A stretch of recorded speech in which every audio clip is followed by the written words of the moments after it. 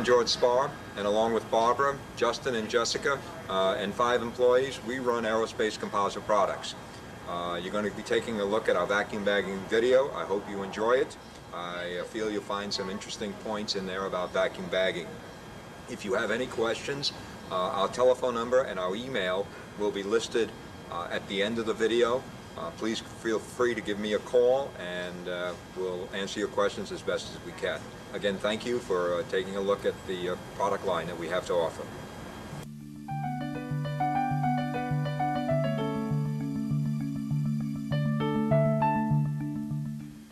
Over the years at uh, trade shows, Toledo, New York, or in phone conversations with uh, customers, the question comes up, why do I need a vacuum bagging system? What's the benefits of vacuum bagging? Uh, basically, vacuum bagging is nothing more than applying pressure, and a lot of it, uh, to a wing or to a, a tool or a substrate. Uh, it's, it's a very nice way of uh, applying pressure conveniently. Uh, I have here a, uh, a vacuum bagging uh, guidebook, and uh, just to give you an idea, at full vacuum, which is 29.92 inches of mercury, uh, you will be putting on the surface 14.69 pounds per square inch. So if you want to round it off, it's generally about a two to one ratio between inches of mercury and uh, how many pounds per square inch you're putting on the wing. What that translates to is if we took a look at this wing, which was made with 18 inches of vacuum, or 18 inches of mercury was applied to this wing. What that translates to is approximately 9 psi. That's 9 pounds per square inch on the whole wing. To get that type of pressure, you would have to A, buy a lot of these 10 pound weights, and then you would have to put, to get that type of pressure, 1,100, uh, 1,890 pounds of weights on the whole surface of this wing uh, to get the type of pressure that you get with vacuum bagging.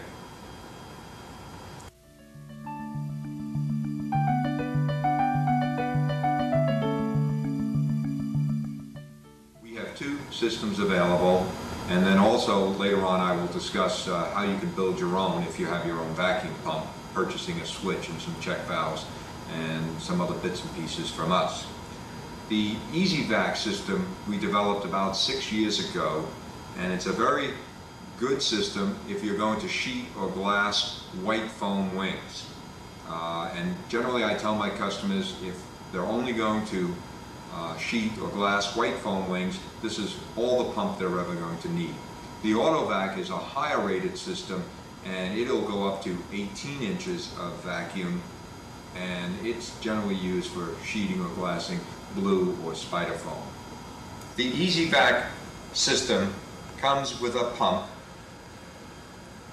The pump is rated for six inches of vacuum. It's an electrical pump that is also rated for continuous operation. The reason we developed this pump was for white foam wings. The maximum that we generally like to pull is about six to seven inches of vacuum. Uh, I have customers that purchase uh, their own pumps or they'll go out and get a refrigerant pump and they'll put the wing in the bag and try to pull 27 or 28 inches of vacuum and they'll literally crush the wing down to about an eighth of an inch. So with the EasyVac system, the uh, vacuum is controlled by the pump. It runs continuously. It will not pull more than six inches of vacuum. Also included in the kit are our quick lock seals. These seals allow you to close and open the bag repeatedly. Uh, you can see that this one's just about ready to be closed down on the bag.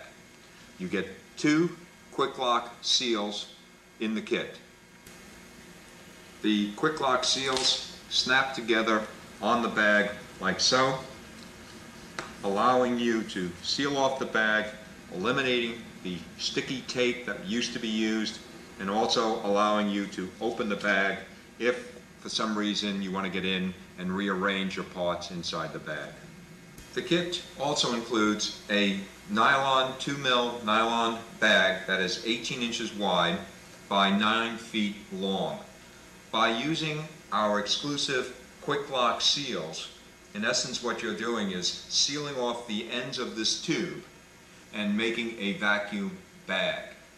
With the exclusive EasyVac connector, we've come up with a way of putting a hole in the bag and allowing us to penetrate the bag so we can get the vacuum to uh, uh, suck out the air inside the bag. Uh, this connector goes through the bag, has a seal ring that goes down on top, and then the nut screws down on top of that, and it's a permanent fixture in the bag. The nice thing about this system is we allow the bag to be reusable. Uh, the connector is mounted permanently, the quick lock seals allow you to open and close the bag, and the nylon is a fairly tough material that allows repeated use of the vacuum bagging system. The breather cloth, it does exactly what the name implies. You slip it inside the bag and it gets the vacuum from the connector all the way down to the other end of the bag so you have vacuum running from one end all the way down to the other end of the bag system. The AutoVac system comes completely assembled as shown here. Everything is mounted on the board and uh, when you open the box all you have to do is plug it in and you're ready to go. The AutoVac has a industrial pump rated for 22 inches of vacuum. It's a continuous operating diaphragm pump. Also included is an adjustable switch. This switch has a deadband, which means the how, how far of a range that it opens and closes or turns the pump on and off. In this case, it has a deadband of two inches. So the switch would shut the pump off at seven inches if it was set for seven and turn it back on for five inches. I'm going to drop the vacuum and you can see how the switch turns the pump on and off. And in generally, that's about the amount of time the uh, pump runs when it's hooked up to the bag. We also have included a gauge so you can monitor what's happening inside the vacuum bagging system and a reservoir. The reservoir gives you a little extra vacuum so if there is a slight leak in the bag you're not continually turning the pump on the reservoir will compensate for those leaks in the bag if they should arise. I generally recommend the AutoVac system in lieu of the EasyVac system when a customer is uh, going to bag blue foam wings with uh, uh, a variety of uh, composite plies on top, glass the wings, or when you have a very large wing such as a quarter scale uh, uh, wing that you're going to glass or sheet. We now have bags that are 36 inches wide available and the uh, smaller pump system just doesn't have enough capacity to uh, pull down a very, very large bag and then monitor if you should get a leak in the system. So the AutoVac is my recommendation when you're doing blue foam wings, spider foam, or large scale wings that require a 36 inch wide bag. Since you're not able to take the VCR into the shop in most cases, we've included a set of instructions, about 10 page illustrated instruction manual that goes through most of the details that we're going to cover here in the uh, vacuum bagging video. I encourage uh, innovation and uh, I have some customers that are really creative in uh, how they come up with a system. Uh, one customer was uh, nice enough to lend me uh, his vacuum bagging system. What he used was a vacuum pump from a air conditioning unit. He then purchased from us the vacuum switch. It's mounted inside here and he has a little opening so he can adjust the switch. One of our gauges and hose and a check valve. The check valve stops the vacuum from going back through the pump. I generally tell customers if they have a vacuum pump to use it. Uh, most of my customers find that by the time they're finished putting all the pieces together and all the time they've spent, that it's probably easier just to spend the $215 for the AutoVac system and uh, be ready to bag rather than running around trying to find bits and pieces. The system does work. It has a very large propane tank used for a reservoir. And what uh, I've been told about the system is with the click, quick, quick lock seals, uh, that it generally, he only has the pump run on occasion.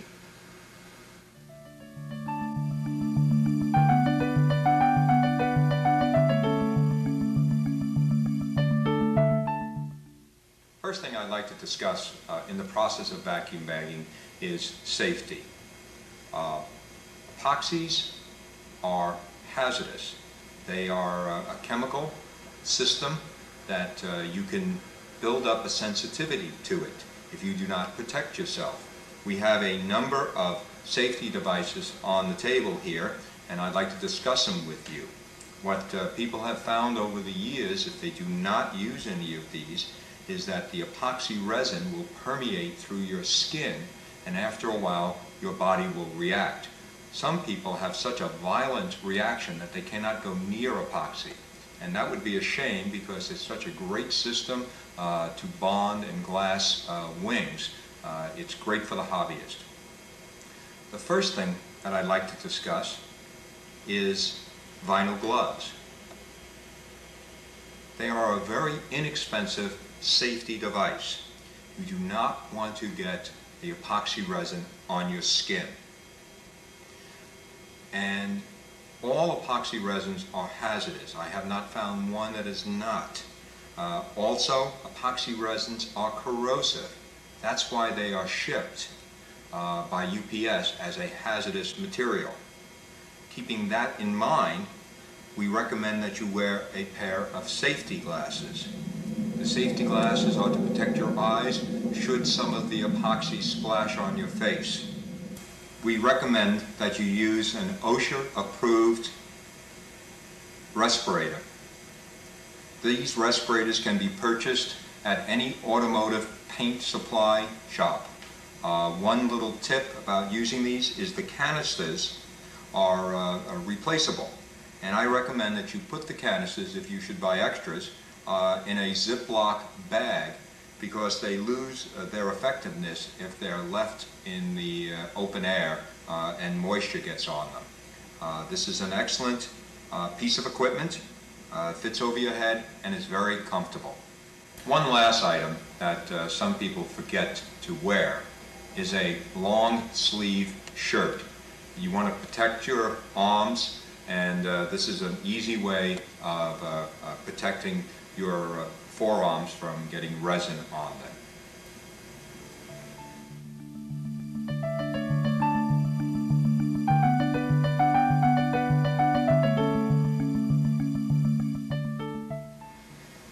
This is the uh, SIG Samurai Slope Soaring RC aircraft. It is a Wingeron ship that we're going to use in the video to demonstrate vacuum bagging bonding plywood sheeting uh, to foam wings. The kit comes uh, fairly complete with uh, plywood, uh, balsa for your tail surfaces, the fiberglass epoxy fuselage that has been reinforced with uh, Kevlar that we supplied, the very nice wing die cut parts, this is the root rib, several, all of your hardware, and the wing tubes for the Wingeron and a, a steel wing rod, which uh, on later ships we will change to a carbon fiber wing rod. Also, uh, we're going to add a few other items to reinforce the wing. Uh, one we have underneath here is our carbon fiber UniWeb material. Uh, all of the carbon fiber is running unidirectional and the fiber is held together by a very, very lightweight webbing so it doesn't fray on you or fall apart. You will see when we vacuum bag this that it gets bonded under the sheeting uh, in the vacuum bagging process and will stiffen up the wing immensely. First thing I'd like to discuss in, in this process of vacuum bagging is to uh, get all the pieces of equipment ready. It's embarrassing to get everything in the bag and then realize that your pump isn't running. So you want to check the vacuum pump. We have plugged the EasyVac pump in, making sure that it's running and we'll be ready to pull vacuum.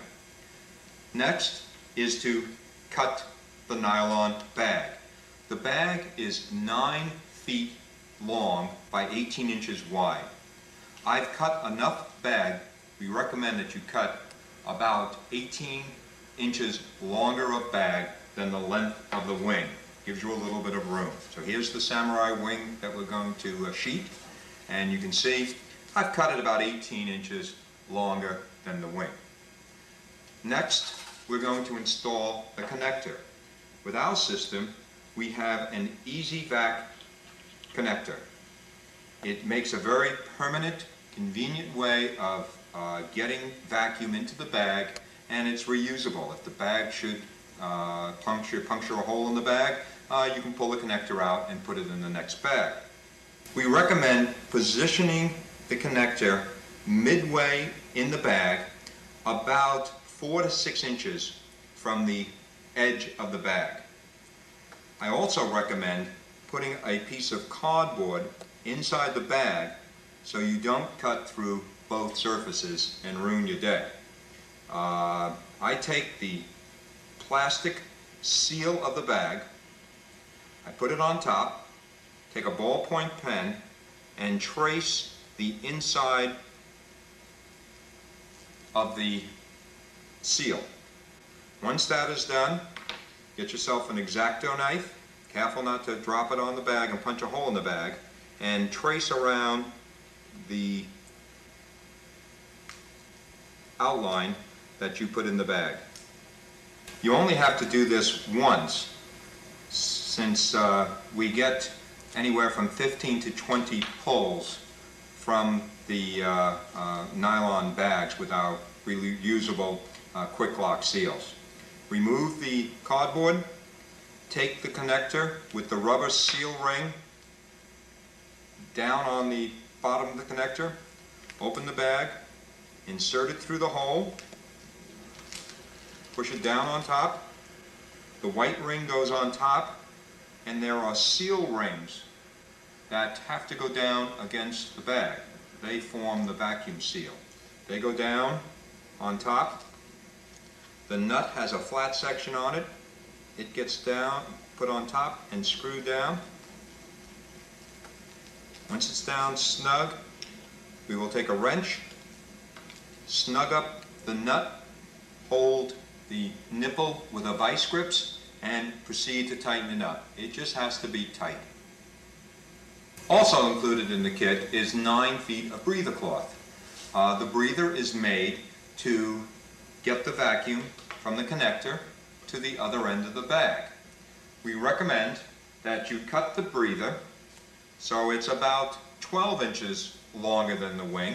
And you can see I've already cut this. It has to go under the connector and run to the other end of the bag. But you want to keep it out of where the clips are going on both ends of the bag. This breather is reusable. We are going to put wax paper down or release film that we use here in our shop. We sell this also. Release film that will protect the bag should any resin ooze out from the sheeting.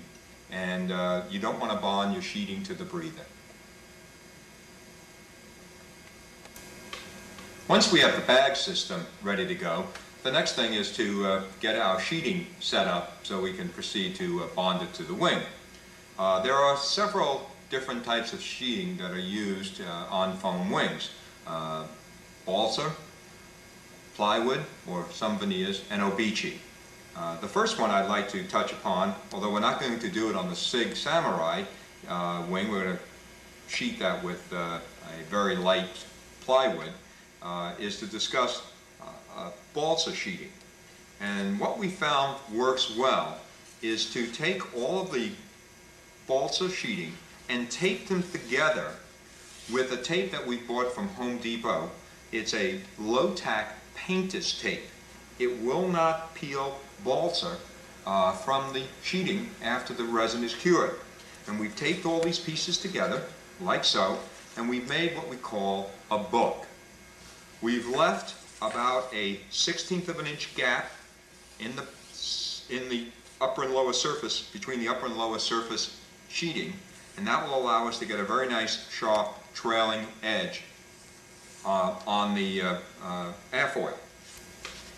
And you have to prepare the foam by putting the root rib on and the tip if necessary. Some wings don't need a, a tip rib. And what we've done on this wing is we've put what I call a sub-leading edge. The reason for this is uh, if we didn't have it on there, generally people leave the sheeting too far forward of the leading edge and the bag will come down, get some leverage from the sheeting and crush the leading edge. So on this wing, we bonded on a sub-leading edge. The sheeting will get bonded up to it. Then we sand the sheeting back and we have a nice solid surface to bond the leading edge onto. This is a wing that has been bagged uh, with Alsystem and uh, the sheeting was taped together with that blue tape that I mentioned earlier. What's nice about this blue tape is when you pull it back it takes up very little of the balsa and as it's pulled back you can see that the resin uh, is very smooth on the surface and uh, there's very little ooze out of the resin and in this process uh, we've done everything all in one shot. Bonded the sheeting together and also bonded the sheeting to the foam wing. The SIG Samurai wing comes with a blue foam and we prepared the wing by putting the root rib on, the uh, spar, small plywood spar, and also the uh, joiner rod is in here that allows the wing to pivot on this rod. Uh, you will notice on this wing that we did not put any leading edge or sub-leading edge on the wing. Uh, SIG uses a blue foam and uh, at the pressures that we're working at it's pretty tough to uh, crush the foam. Also uh, in their instructions they recommend sanding the sheeting back flush with the foam and then bonding on a, uh, a wood leading edge. Although it's not included in the kit, we've bonded onto the sheeting our quarter inch, 10 thousandths thick woven carbon fiber laminate. What this will give us is a razor sharp trailing edge and you can see it's bonded just about in the uh, uh, gap on the uh, lower surface uh, sheeting. Uh, this material I find is better than using a unidirectional laminate because it has cross fibers. Since it's woven, you get some fibers running in this direction and some fibers running across, and you get a straighter trailing edge. After you have the bag system set up and ready to go, and the sheeting uh, all taped together, uh, the next thing you have to do is uh, mix your epoxy resin. Uh, we are using our EasyLam resin, which we formulated about six years ago uh, for the hobbyist. It is a, uh, two-part system, uh, two parts of A to one part of B.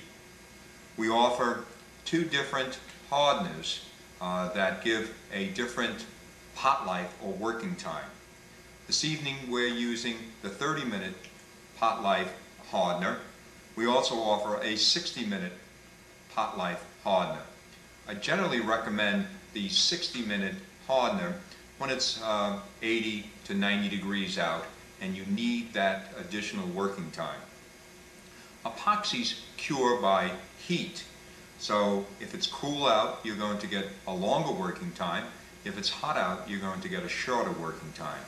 So it takes heat to speed up or slow down, or cold to slow down the chemical reaction. This is a 2 to 1 mix ratio. Two parts of A, the epoxy, and one part of hardener. This happens to be our 12 ounce kit. We also have it available in pints, quarts, and gallon, and gallon and a half kits. Uh, I recommend about three ounces total resin for a 36-inch wing. The Easy Lam resin is a two to one mix. So using mixing cups, we will accurately measure one ounce of the B portion, which is the uh, hardener, and then proceed to add two ounces of the Easy Lam epoxy, which is the A portion. Uh, you have to accurately measure these, or if you uh, don't, you will have uh, an incorrect uh, mix ratio. Proceed to mix the resin for at least two minutes. Once the resin is mixed, we will uh, pour several beads onto the sheeting and uh, just to spread it out on the sheeting. Then we will take our squeegee or playing cards and spread the resin over the entire surface. You want to get an even coat over the entire surface. We will then put down the UniWeb unidirectional carbon fiber laminate, position it uh, on the uh, upper surface sheeting, and we will wet it out uh, uh in a moment. We're adding a little uh, uh, Easy Lam resin to wet out the fiber. We will take the other piece of unidirectional carbon fiber laminate, position that on the top sheeting, and uh, get it down, it will stay in position uh, on top of the wet resin. Now put some resin down in that crack between the upper and lower sheeting and uh, add the uh, woven carbon fiber laminates uh, that we discussed earlier. That will position on the uh, trailing edge between the upper and lower sheeting. Now take your foam wing and position it so it's at the trailing edge and close up the sheeting. We are ready to insert it in the bag. You must uh, position the breather cloth, which is the white material, and the release paper uh, in a position that the release paper is not underneath the connector. Just the breather is under the connector. Pick up your wing, open the bag, and insert it on top of the release paper. That release paper will prevent the uh, breather cloth from bonding to the uh, wet resin on the sheeting. Get the bag positioned, get everything positioned. You have plenty of time because the resin is a slow cure resin. Uh, get the wrinkles out of the end of the bag. Take the uh, Easy Lam, uh, the uh, quick lock seals, and uh, proceed to snap the blue on top of the white. Close off the other side of the bag with the uh, quick lock seals, snapping them in place.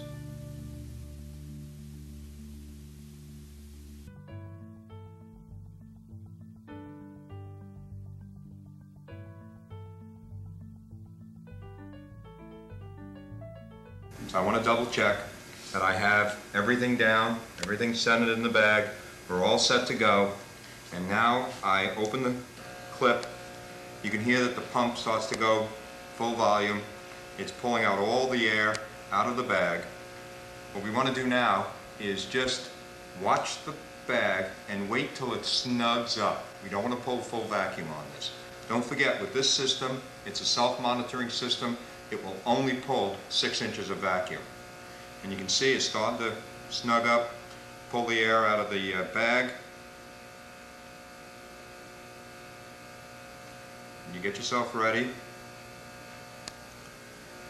And you stop it, double check. You don't have to worry about the wrinkles.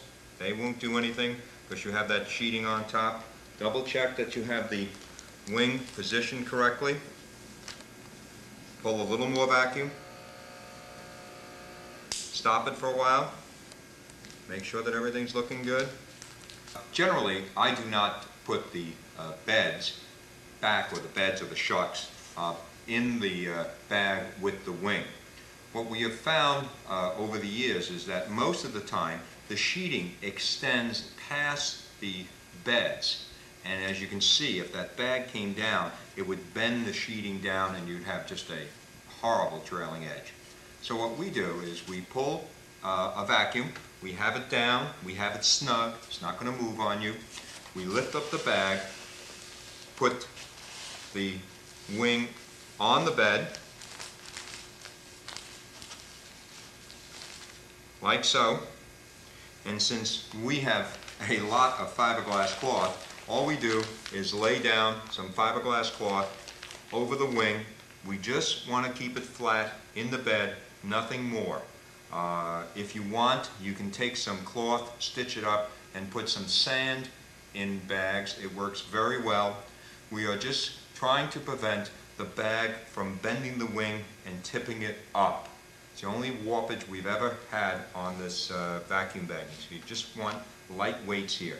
The reason I don't use milk containers or anything else is I like to put an electric blanket over the uh, bed once I've pulled full vacuum to speed up the resin cure.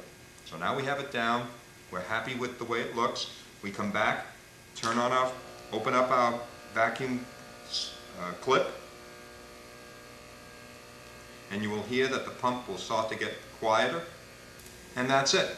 If you so desire, put an electric blanket over the, uh, um, over the uh, bag and let it sit under vacuum for 48 hours. Generally, 48 hours at 75 degrees is enough time to uh, cure the resin and bond the sheeting. Uh, Another trick that I like to do is to take a scrap piece of balsa, put some resin on it, put it on top of a piece of foam, and put it aside next to the bag with a weight on top of it, and you can try that, just to see if curiosity, I know everybody tries it, uh, to see how the sheeting is bonded. Uh, I recommend 48 hours, uh, and that should give you a good bonded system. That's it. Once the uh, resin is cured, take it out of the bag, and we'll show you the next step.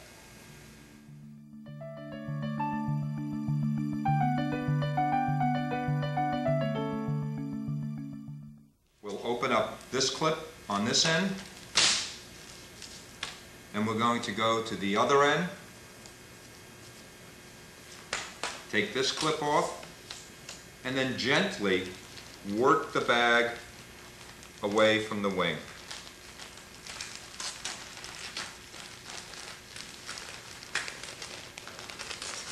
On the leading edge is where you get the most resin ooze out. And you can see it's just pulling away. I'm going to take it from the other side now. And open the bag, gently push it away from the leading edge. And that's it. The wing is free. We can take it out of the bag. Take the breather cloth away. We don't need that anymore. Turn it over and take the release film away. You can still use the release film again, just turn it over on the other side. As you can see, uh, we have a very nice, sharp, straight, trailing edge running all along the back of the, uh, the wing. If you remember, uh, we bonded in a carbon fiber woven laminate between the upper and lower sheetings, uh, which is helping, giving us this uh, razor sharp trailing edge.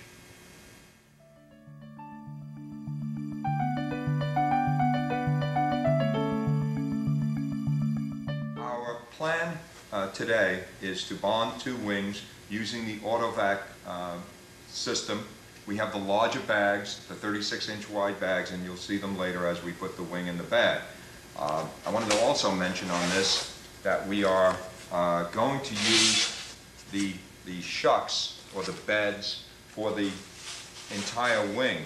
And on these, you, the bed supports the whole wing.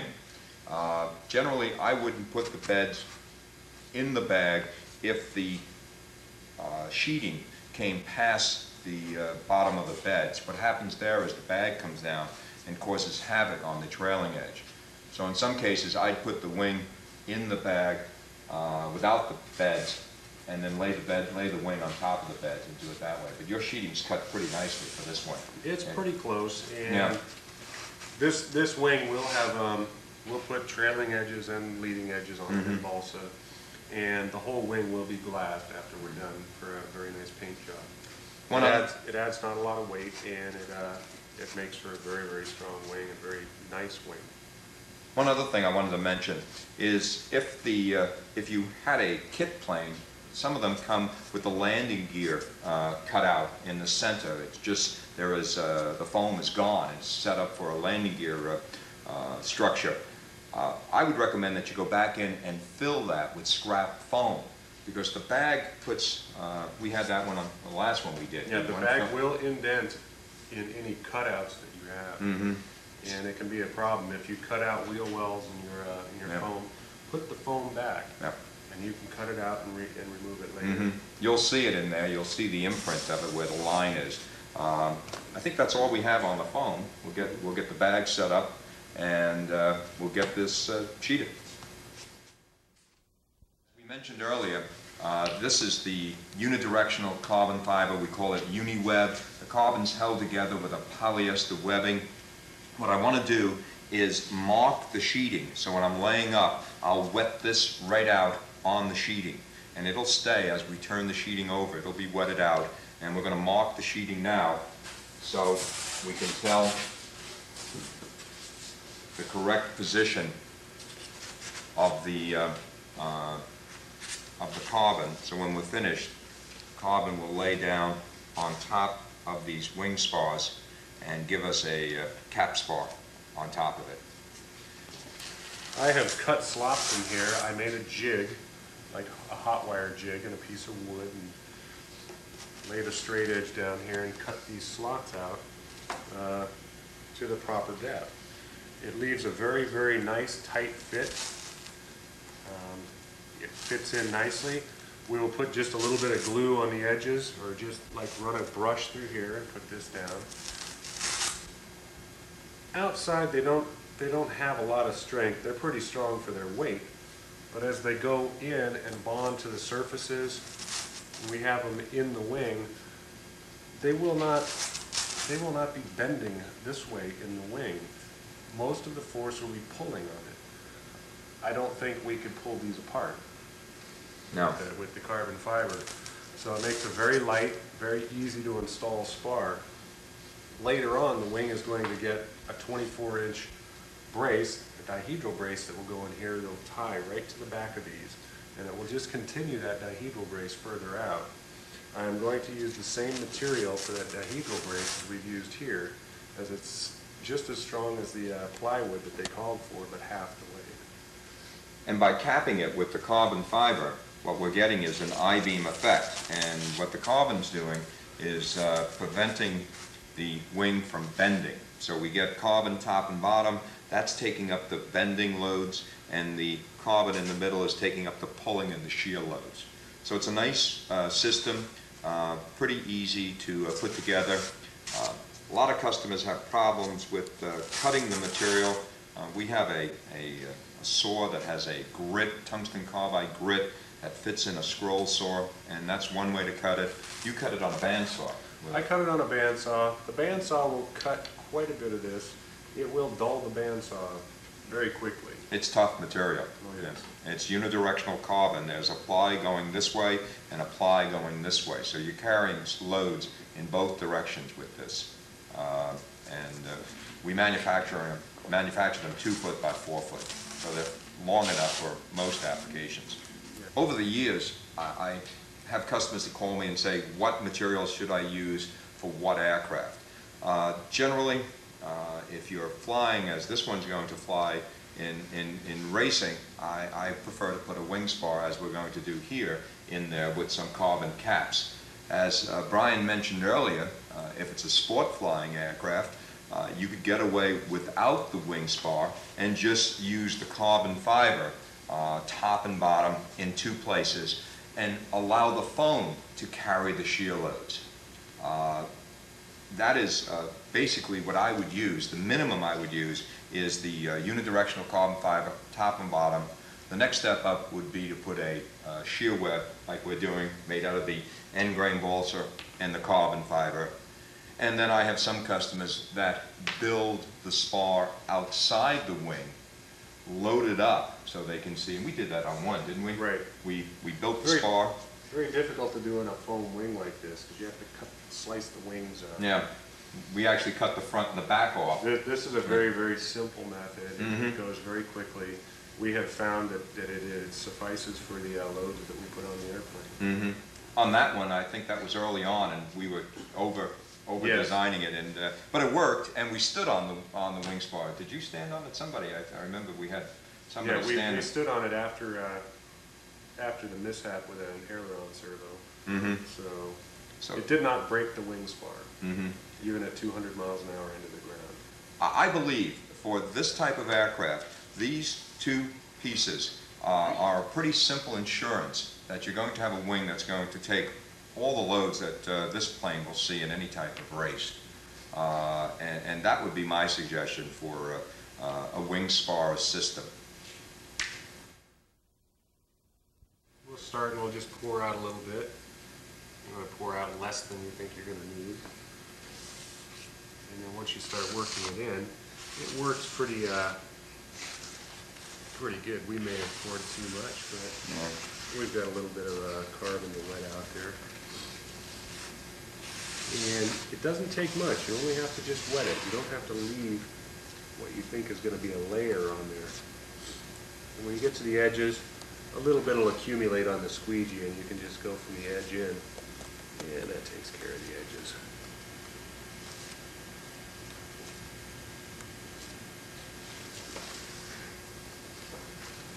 The rule of thumb on resins is uh, the working time is based on 75 degrees uh, room temperature.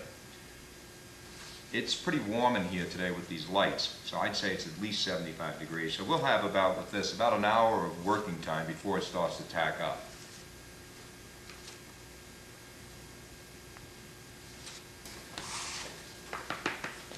Okay, and now we're gonna lay these strips on wet those out just a tad.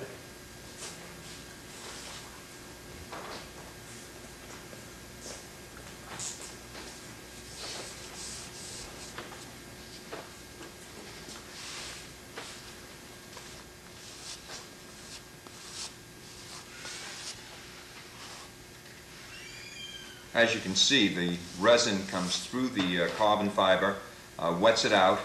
We're basically doing uh, what would be done at a factory when we talked earlier about prepregs. He's in- impregnating the fiber uh, with the uh, epoxy resin, and uh, we'll bond the whole assembly together.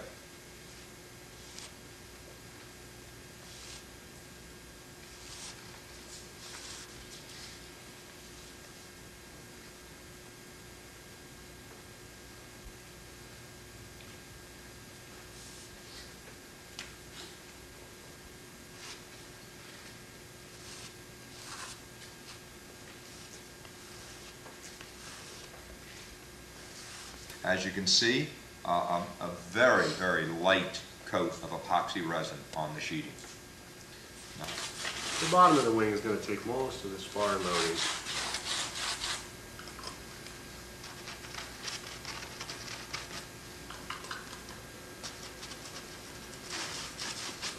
Okay?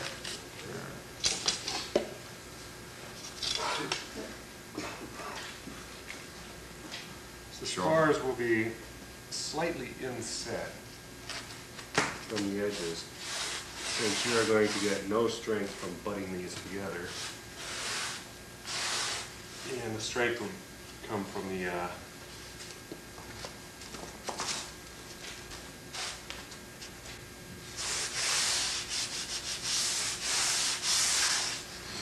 Right? okay, Uh, just the one, this, no, this is the one for this side. You all set? That it? We'll set it down, it's, it's not gonna readily stick in place. The difference Just wanna make between... sure Mhm. You got the caps right about where the spars are. And then it's pretty even throughout the The difference between using epoxy and some of the contact cements is you can see we have the luxury of being able to move the sheeting around. If we were um, uh, using contact cement, as soon as they touched, uh, that would be it. awfully difficult to, to uh, do something like this with contact cement. You want some tape? You're just gonna flip it Um, over? right now, we'll just flip it over. Okay. And it'll stay pretty close in place. Just before we do final assembly, and put it in the bag, we'll tape everything together to make sure everything stays pretty straight.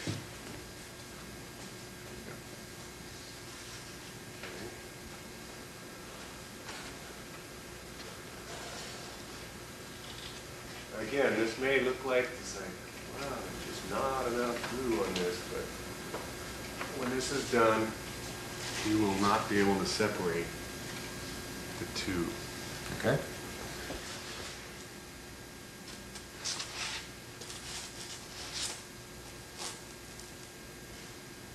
Okay.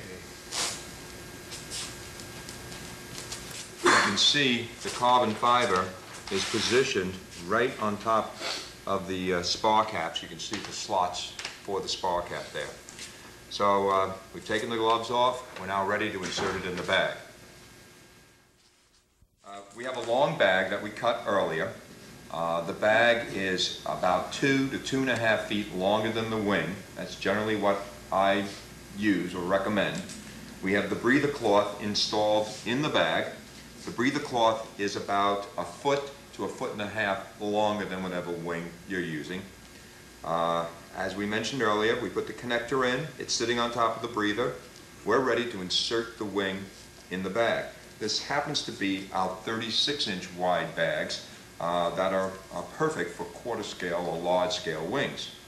Uh, With this type of bag, you can also do smaller wings by cutting the breather shorter, putting the clip here, letting the rest of the bag hang out, and bag smaller pieces. So with a 36-inch bag, you're not limited just to quarter-scale wings. You can use smaller uh, pieces just by arranging the clips on the, uh, on the bag.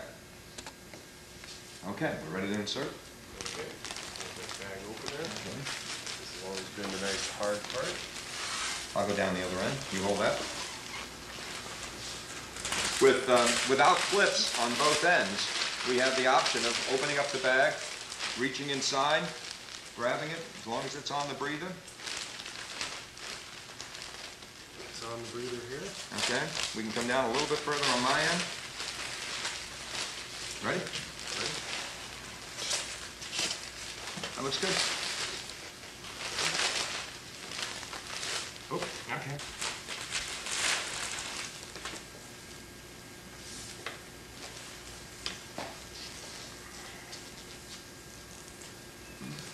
Always nice to have a friend with you when you're doing this. Always fun to have someone to talk to and hmm, work together.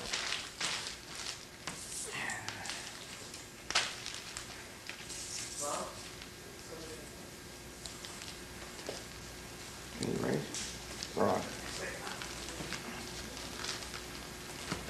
What's nice about the clips compared to uh, sticky tape is if we would seal this with that uh, bag sealant tape, if we needed to get inside this bag for any reason, we say, oh, we forgot something, uh, it doesn't look right, it shifted, uh, as Brian's hooking up the hose to it, uh, we'd be, we'd have to cut the bag and shorten up the bag with the uh, tape. With the clips, it allows you to open and close the bag over and over again. Also, we'll get several, at least probably six pulls out of this bag. You can see we still have a small gap, and we can push up and down to get rid of that gap, but as the vacuum, uh, as the vacuum comes down and pulls this thing down, there will be no more gap. As you can see, it's shrinking already. We put pleats in the corners uh, with the bag. It's slow, you don't have to worry. It's been running a couple of minutes, just pulling out all the air, and we've been checking it and looking at it, making sure that nothing shifted, and uh, she's starting to come up. With our system, don't forget, we've adjusted this for uh, seven, six to seven inches of uh, mercury. It's getting close, Brian. It's coming up now. The second wing is prepared exactly as the first. Resin is applied to the spar slots and to the spars themselves.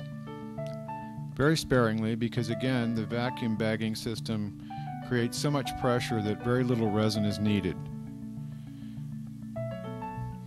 Once the skins are put in place, it's very important to adjust them carefully so that there's a, a proper amount of overhang all the way around because once the assembly goes in the bag, it's very difficult to change that uh, adjustment.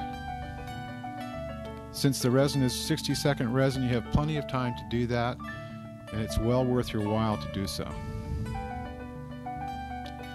Once you're sure everything is adjusted properly and set properly, tape it together so it can't move once it's in the bag. Slip it into the bag, make sure, making sure that it's right on top of the breather cloth. And once you begin to suck it down, put some weight on it to make sure that it's going to go down properly.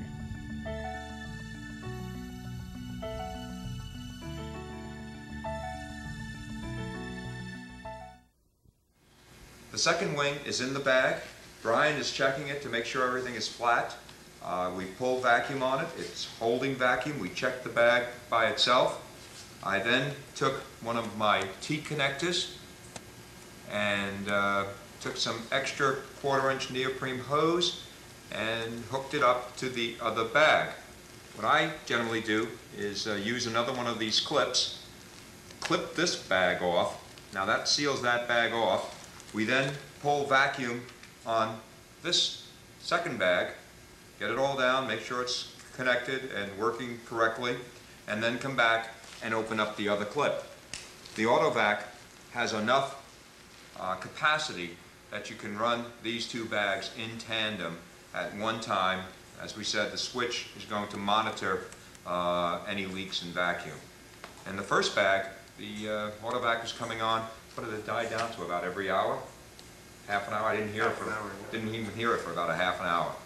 And uh, we'll let them sit here, we'll put some weights on it just to keep it all nice and flat. We'll let them sit here for uh, uh, 24 to 48 hours, and when we come back, we'll have uh, bonded sheeted wings.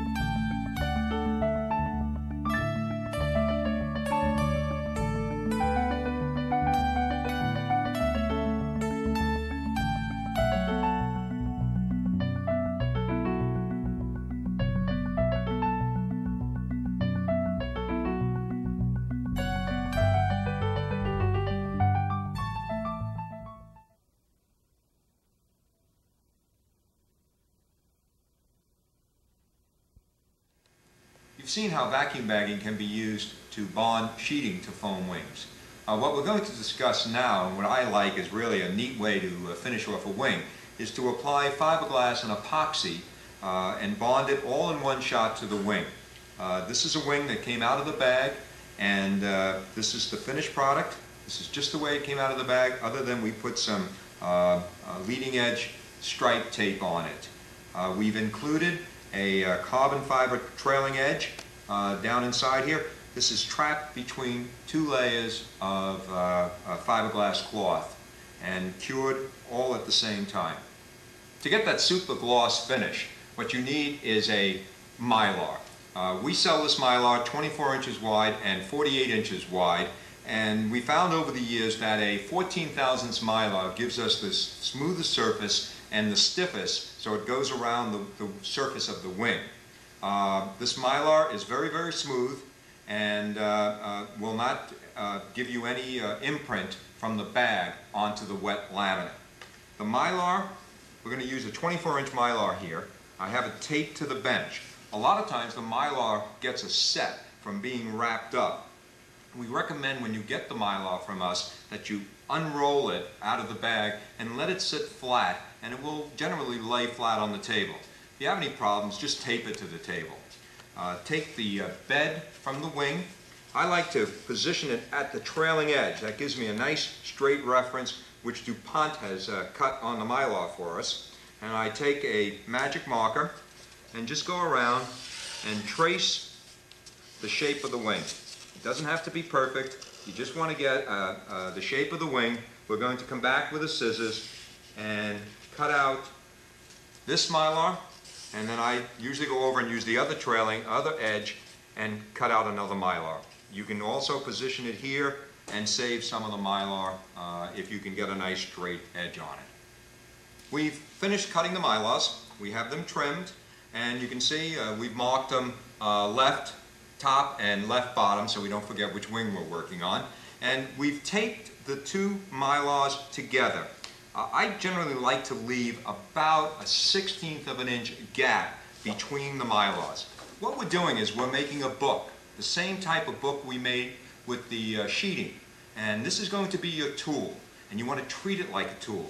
Try not to scratch it, try not to put any gouges in it. Any scratches or gouges on the mylar are going to transfer into the wing. Uh, so uh, uh, keep these uh, uh, smooth and clean. Uh, you can use the mylars over and over again. As long as you don't change the plan view of the wing, keep on using the mylars. Uh, as long as they're waxed up, epoxy will not stick to it.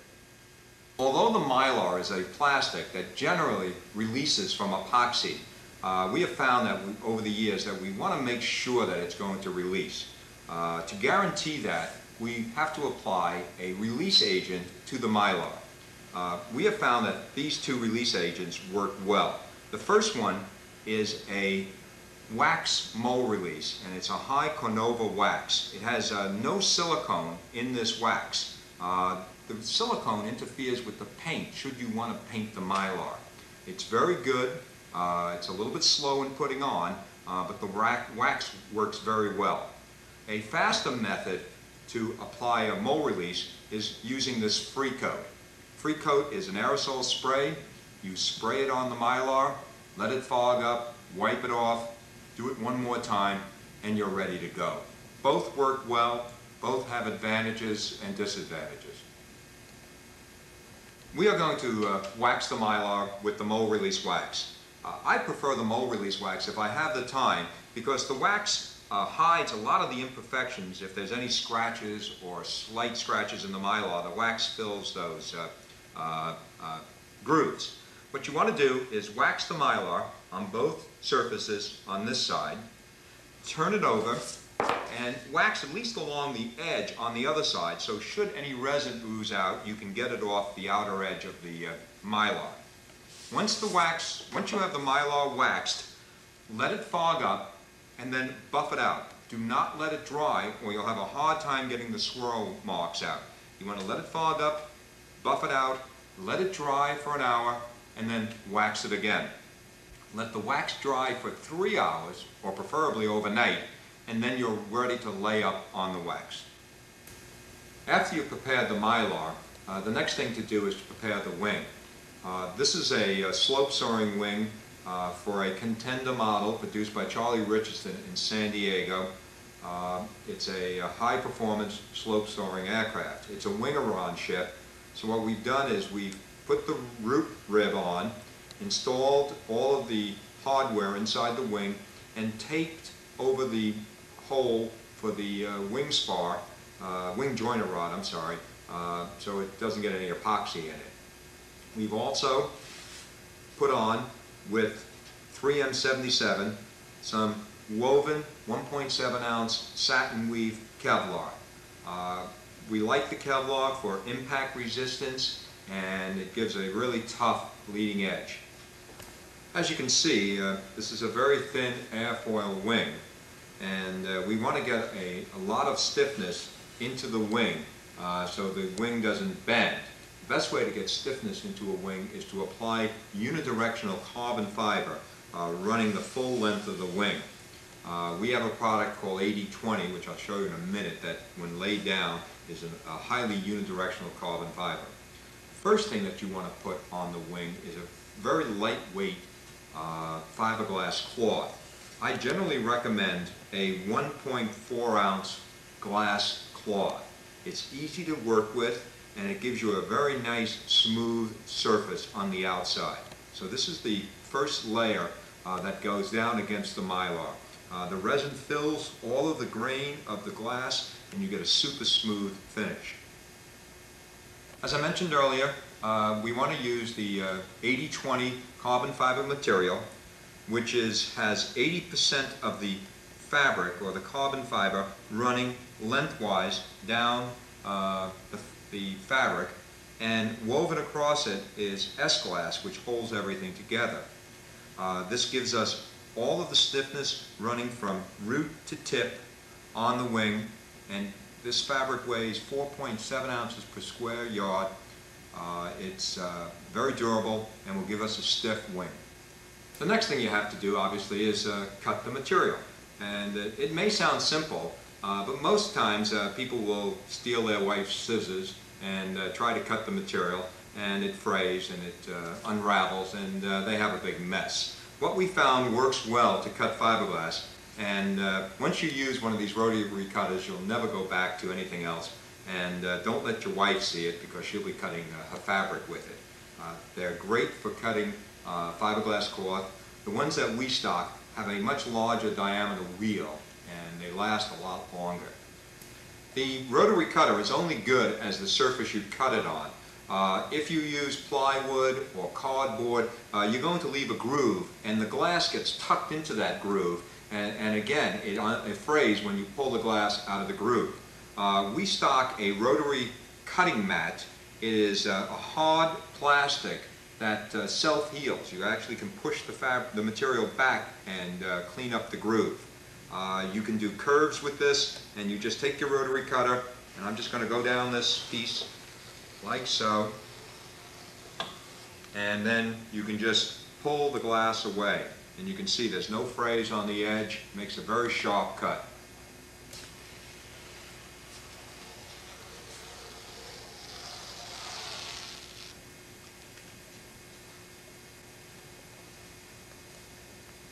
We've left the uh, salvaged edge of the uh, fabric uh, on. We don't have to cut that off. The excess, as I mentioned, will get trimmed afterwards. We're using uh, fiberglass cloth that's 38 inches wide and uh, it fits this wing pattern very well.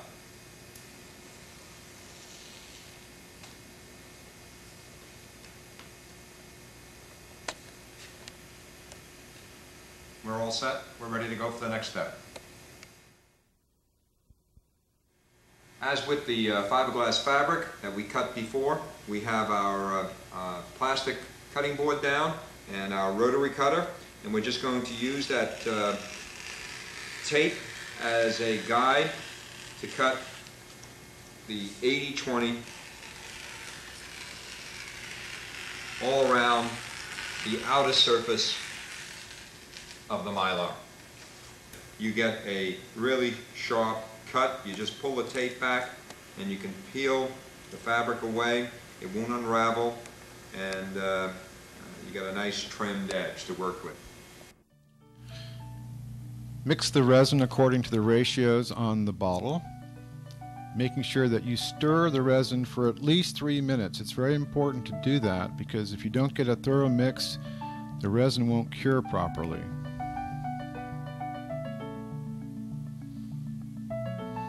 Once the resin is properly mixed, you'll pour it onto the fiberglass cloth which has already been laid upon the uh, mylar. You'll notice that George is wearing a respirator, rubber gloves, and a long sleeve shirt.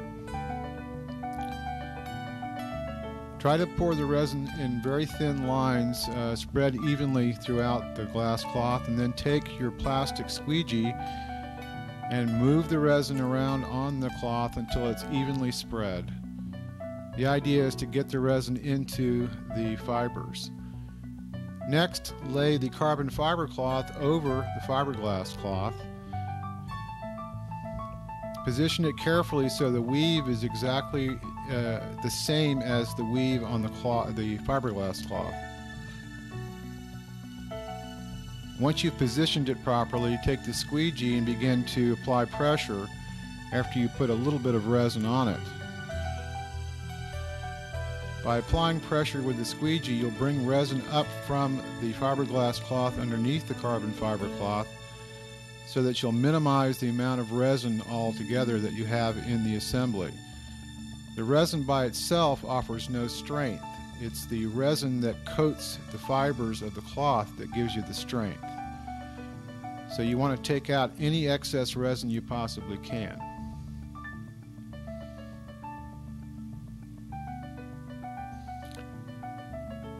After applying a little bit of resin, carefully squeegee the entire area of the carbon fiber cloth.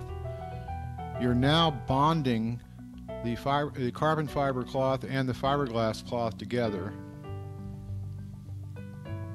And the mylar on the bottom is offering you a flat surface uh, that helps you to get all that excess resin out.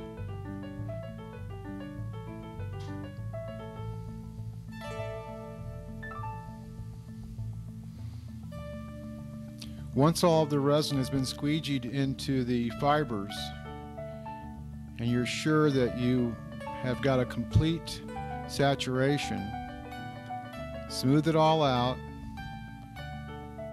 double check, and then go ahead and lay your foam core down right on the center line. Make sure you have just a little bit of overhang so that you don't get caught short once you put it in the bag.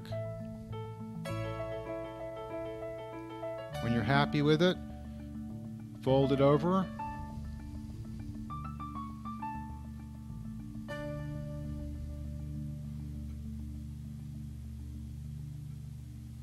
Make sure it's all fit together properly, that everything is uh, lined up exactly right. And then you're ready to proceed to vacuum bag it.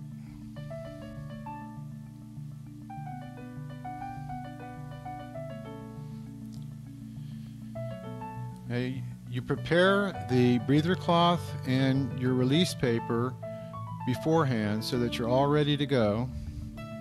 You've already cut the bag about 18 inches longer than the entire assembly.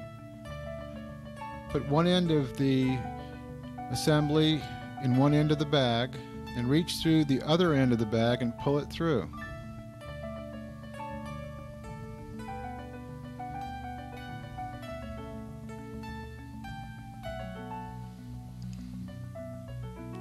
Straighten it all out, make sure it's all even and, and neat in there.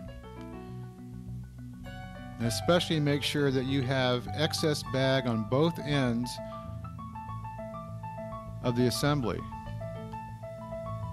It's especially important to make sure that the uh, clips aren't obstructed at all by the breather cloth and that the air valve is uh, situated right above the breather cloth.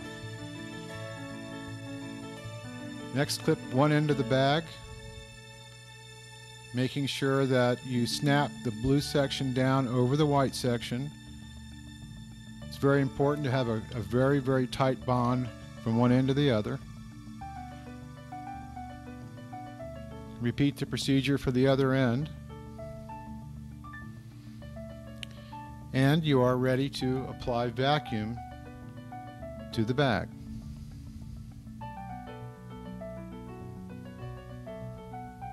The wing is in the bag. Uh, We're almost finished for the uh, uh, the remainder of this uh, vacuum bagging.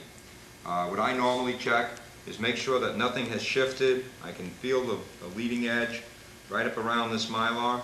Uh, I might want to sneak it back just a hair so it's uh, uh, down in front. Check the ends and we're ready to apply vacuum.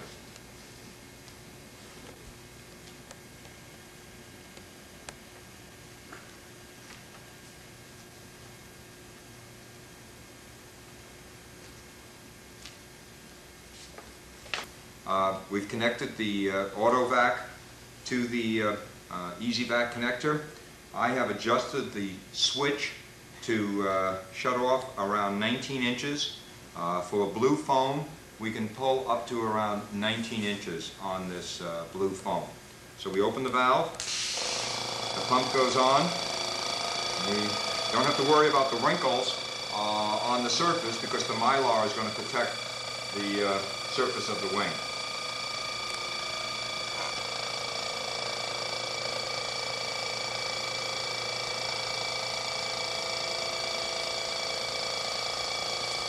The AutoVac has shut down. As I mentioned earlier with blue foam, we have it uh, set for uh, 19 inches. We will just uh, keep it under vacuum until the resin cures. Generally, I usually keep it under vacuum for uh, uh, 48 hours minimum, again, depending on the room temperature. Uh, We have a couple of options to keep the trailing edge straight. One is to do as we did with the Samurai, lift the bag up, put it on top of the, the bed or the shuck, and put some light weights down the center of the wing. Another option is to uh, uh, put some weights on the trailing edge and place the wing on a very flat table.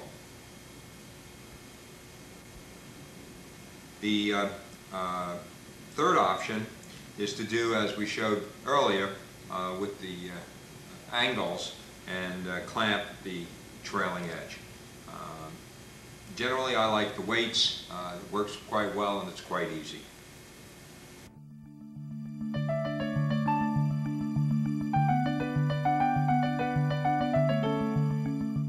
The contender wing has been in the bag for 48 hours. Uh, We let it cure at room temperature. Uh, If we wanted to speed up the process, as I mentioned earlier, we could have put an electric blanket over it. Uh, We're ready to take it out of the bag. Uh, This is what the wing looks like when it comes out of the bag. Uh, We have wax paper on it. Uh, That's there to protect the bag. We put wax paper over the top surface, and uh, we're ready to go to peel off the Mylar. Uh, But one suggestion, before you take the Mylar off, what I like to do is trim all the flashing off beforehand. The Mylar protects the wing, it uh, allows you to uh, sand this uh, leading edge down, and once you get all of that finished, then you can pop off the Mylar. This is a wing. We still have the Mylar on. We've trimmed off the leading edge. Everything is ready to go. And uh, I've peeled part of the surface off, and this is how it pops off when it comes off the Mylar. Turn it over on the other side, uh, grab a corner of the Mylar, pop it off. And a little more uh, trim uh, on the surface, getting this uh, uh, line off on this edge, and you're ready to go. Uh, This is a very stiff, finished wing.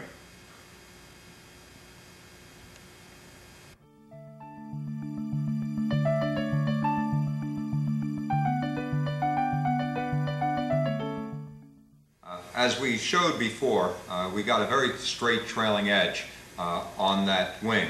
But I'd, I'd like to show uh, some additional tricks that will assure you of getting a, a, a very straight trailing edge. We're going to use some aluminum angle irons to clamp down on each side of the bag on the trailing edge. The first thing that you have to do is get the wing as close as you can to the edge or the corner of the bag. There's a crease that runs down this bag, and you want to get the wing as close as you can to that crease. Once you have it positioned, go ahead and close up the bag as we did before with the clips on both ends and apply a vacuum.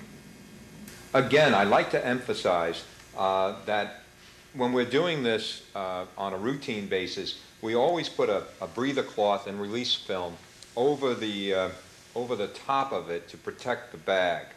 Uh, but you can see I've tucked this wing sharp into the corner of the bag, and I am going to take some angle iron. One goes on the bottom, like so. Another one goes across the top. One other thing is you want to make sure that you uh, sand these angle irons down uh, so they don't puncture a hole in the bag. And then we put several clips on the wing, all the way down the wing, and then we let it sit till it's cured. This guarantees that you will have a very, very straight, sharp trailing edge.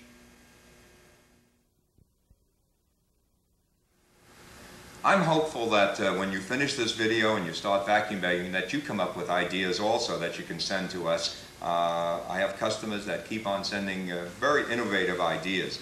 If you think about it, uh, vacuum bagging makes a very good clamping device. And uh, this customer sent me the angles and the pieces that he made with it to make wing spars. Uh, we've taken a, uh, an angle from a hardware store, made sure that the edges were smooth and uh, filed. Uh, before I put this in the bag, I would use bubble wrap around the corners here just to protect the bag. What we've done is we've waxed the uh, angle with mold release wax. I usually wax it on both sides. Any resin oozes out. You want to protect the angle. And then we've taken our uh, foam. This happens to be a spider foam wing spar for a very lightweight structure. Laid the uh, spruce down in the corners and uh, uh, wetted the spruce out, the foam, wetted the spruce out, and inserted in the bag. What will happen is the bag will push down on this uh, angle line, keeps everything straight, and after it's cured, you have the first step on making a very light wing structure. The next step is to bond on some of our carbon fiber laminate. This happens to be our 14 thousandths laminate. Again, it's a hand launch wing spar. And the fellow bonded those on and then wrapped the structure with fiberglass tape, wetting it out with epoxy.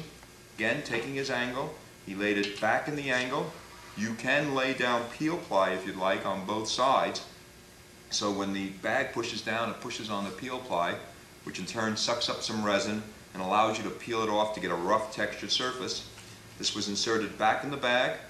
Uh, pressure was put onto it. We pull vacuum on the bag, and then the uh, unit was let cure. When uh, we took it out of the bag, this is what came out. It's got a rough textured surface. It's ready to be installed in the wing. Uh, very stiff, uh, very light uh, structure. This one was done with spider foam as the shear web. If you've come to any of the shows over the years, you've seen this uh, sample I have in a bracket that you can push on. This one was done with a uh, spider foam, uh, not a spider foam, a Rohacell shear web and carbon fiber laminates bonded to the top and bottom. These happen to be 60 thousandths. Again, wrapped with fiberglass tape, wetted out, uh, peel ply around it, insert it in the bag, and let cure. Very stiff wing. I've had one fella stand on this uh, wing spar. Very stout wing. Uh, another bagged wing spar. This one's a little bit different. It has carbon fiber top and bottom, uh, Rohacell foam, but this fella uh, built a little wing box made out of plywood here, and he used one of my rectangular rods uh, to as his uh, wing rod in the in the fuselage. Uh, he wrapped it with fiberglass. Uh, he wrapped it with Kevlar tape rather than using fiberglass to get a little more uh, bond. The reason we wrap the uh, outer surface is as these wing spars bend, the top spar has a tendency to fail the bond line. So we're just using that uh, wrap to hold everything together. Those are some ideas of what you can do with vacuum bagging. I'm sure that you're going to come up with others, and uh, uh, please let me know.